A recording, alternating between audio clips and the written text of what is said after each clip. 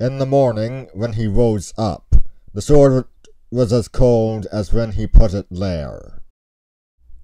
It happened when the two sisters were walking by the seashore that a little cowboy was down by the water minding cattle, and saw a fair push trembling into the sea. And next day when the tide came in, he saw the whale swim up and throw her out on the sand.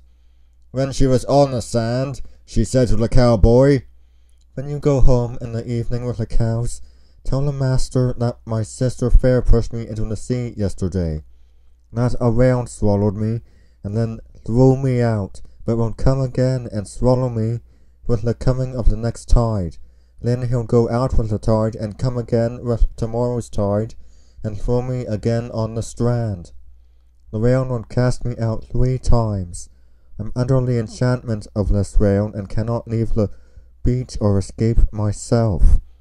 Unless my husband saves me before I'm swallowed the fourth time, I shall be lost.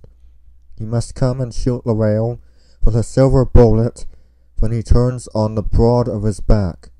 Under the breast fin of the whale is a reddish brown spot. My husband must hit him in that spot, for it is the only place in which he can be killed.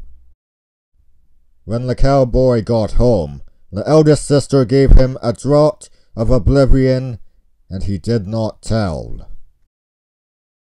Next day he went again to the sea.